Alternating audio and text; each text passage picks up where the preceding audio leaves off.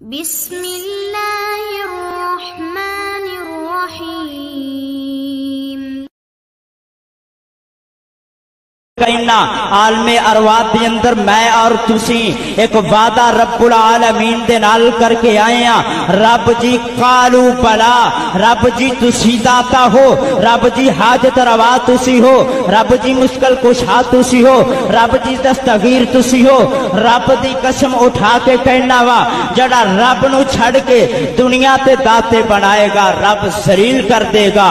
और दूसरा प्रोग्राम, दूसरी महफिल रब्बुल आलमीन आलमीन ने मुनद फरमाई है कुरान का सुदा है वाह बह जाओ।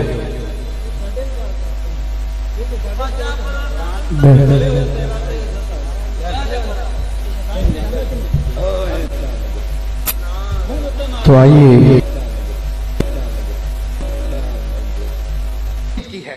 असल लड़ाई ईमान की है इसीलिए जो तोहीद की बात करता है। ये जालिम उसको वाजिबुल कत्ल कहते हैं। ये कहते हैं जी, ये सिर्फ़ एक अल्लाह अल्लाह की बात करता है, ये वहा भी है, गुस्ताख है, वाजिबुल कत्ल है। कुरान हकीम की ये आयत इन जालिमों पे कितनी फिट आती है। व इदाजुकिर वहदा व जब ये कहा जाए सिर्फ़ या अल्लाह मदद एक अल्लाह मुश्किल कुशा, एक अल्लाह हाजत रवा, एक अल्लाह बिगड़ी बनाने वाला, एक अल्लाह औलाद देने वाला, एक अल्लाह शिफा देने वाला, एक अल्लाह इज़्ज़त देने वाला, एक अल्लाह बीमारियाँ टालने वाला, एक अल्लाह हाजत रवा है। बाकी सारे उसके दर के सवाली और मोहताज हैं। फिर क्या होता है? इनका चेहरा सियाह पड़ जाता है। और जब कहा नहीं नहीं नहीं, या अल्लाह मदद भी ठीक है, या अली मदद भी ठीक है साडे पिंड का बंदा आया है। इन्हें गल ठीक की है। एक अल्लाह के नाम से इनको आग लगती है। और जब ये कहा जाए, अल्लाह भी अल्लाह भी मुश्किल कुशा और बाबा भी मुश्किल कुशा, अल्लाह भी कश्ती पार लगाता है मौला अली भी कश्ती पार लगाते हैं। ये ही और भी का फ़र्क है भाई। है छोटा सा, लेकिन है बहुत बड़ा। एक मिसाल देके आगे चलो। ही और भी का छोटा सा फ़र्क। किसी की बेगम उससे कहे, आप ही मेरे खामिंद। पाँच सौ रियाल देन दिल करेगा ना? मेरी बहनें घर जाके अपने हर खामी से यही कहें, आप ही मेरे खामिंद। इन पाँच सौ नहीं, कंजूस होगा सौ तो दे ही देगा। और जिनके दिल में अभी तक कबर परस्ती पनप रही है, वो जाके अपने खामी से कहें, आप भी मेरे खामी कसूने फिरनगे या नहीं? पंजाबी कसूने मारेगा, पठान हो तो फैर मारेगा। उन्हें कसूना कला नहीं मारना, उन्हें गोली भी मारनी आप भी मेरे खामी बस।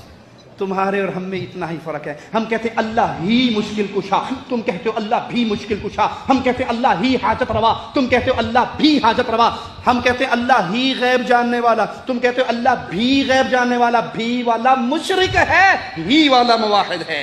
तो अहले तोहीद से इनकी नफरत की वजह यह है कि इनके दिल में शिरक पनप रहा है और इनके है, यहाँ असहाब रसूलुल्लाह के वारिस ज़िंदा है और अल्लाह की कसम, जब तक अहलु सुन्ना वल जमा, अहलुल हदीस का आखिरी बच्चा ज़िंदा रहेगा, मोहम्मद के दीन का चौकीदार रहेगा।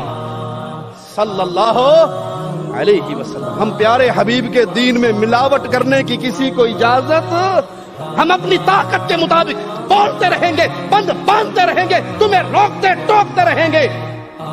तुम्हारी गोलियों से राहिमहुल्लाह की तरह अहले तोहीद दुआत का सीना छन्नी हो जाए, कर गुजरो। हम रब से इसी अमल के बदले जन्नत का सवाल करेंगे। जब गुरेजा हो गया फिर जलवे खुर्शीद से, ये चमन मामूर होगा नगमय तोहीद से।